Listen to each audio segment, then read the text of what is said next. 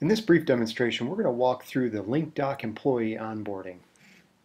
This process begins with uh, an HR manager requesting the hire of a new employee. So for example, the employee has already filled out uh, an application using uh, a LincDoc employment app, and they've already accepted their offer. So this, at this point in the demonstration, we're uh, uh, merely looking at from the perspective of the hiring manager now initiating a request to the employee for, for hire.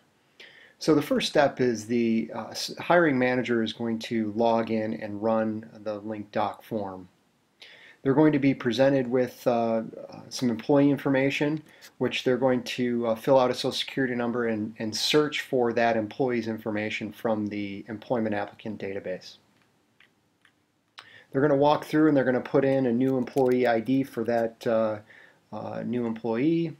They're going to set the uh, full-time status, the number of hours, and they're going to walk through and, and fill out uh, the rest of this um, uh, request for the new employee to fill out additional uh, documents. So I'm just going to walk through and this is going to dynamically pull in information from external data sources. So as the user fills this out, it's automatically going to search for information and pull in the rates, and we can put um, uh, input constraints around these rates to make sure that uh, they fall in range that uh, the uh, uh, employer has set. So now I'm going to come down here and answer the last set of questions, and then I'm going to click Submit. And this is going to uh, generate the documents and send the user or the prospective employee an email with uh, additional information for them to fill out. So now, uh, if I now switch gears to the uh, employee, you'll see that um, I'm going to log into this particular employee's uh, inbox and I get an email from the YMCA saying welcome to the YMCA. Now I'm going to um, show the employee side of things. So now I'm I've already accepted the offer and now I need to fill out all of my onboarding paperwork. So I'm going to go ahead and click the link and this is going to bring me uh, to a secure link for uh, to fill out my information as the employee. So you'll see some additional information that the uh, employer didn't see that they can then go ahead and fill out. You'll see that uh, the employment information is now read-only, so I can't change any of it. I can put in my emergency contact information. I can then walk through and fill out uh, the W-4. The W-4 we're going to fill out in an intuitive way. So can anyone claim as a dependent? No. Do you have more than one job? No. Uh, this is dynamic in nature, so if I'm uh, married, I should see questions about my spouse, but if I'm single, I shouldn't see those questions. So this is a smart interface that's going to step me through that process. If I have kids, then I should uh, gather the information uh, about my dependents. If I don't have kids, I shouldn't uh, see that information and it's going to total up all of my allowances for me. I'm going to come down here and fill out uh, the rest of this form. Uh, employee uh, sponsored uh, health insurance, yes or no. And then I'm going to fill out the disclaimers, so uh, drug-free acknowledgement, yes or no. And then coming down here to the code of conduct.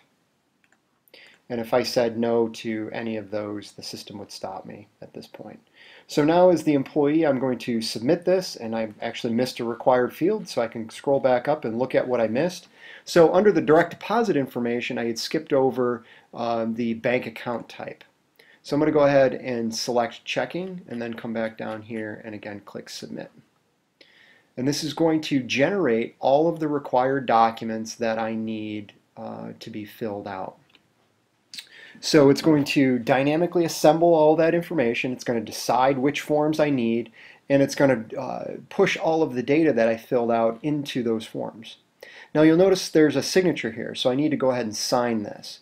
So as the employee, I'm going to click the sign button, and there's a number of signatures in all of these different documents that, uh, that I need to sign. I have the option of going in and signing each one individually, or click the sign all button. This will allow me to, uh, to go in and uh, use my mouse. For demonstration purposes, we use a, a mouse signature, but you can use uh, an iPad signature. You can also use a click wrap signature um, or a Topaz signature pad. So we integrate with Topaz signature pads to allow you to uh, capture uh, that signature on uh, a device like that.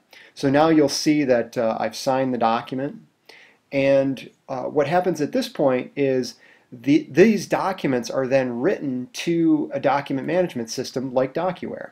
So if I were to come into DocuWare and uh, click search, you'll see there's a new uh, document for John Doe. And that document has been, has been signed.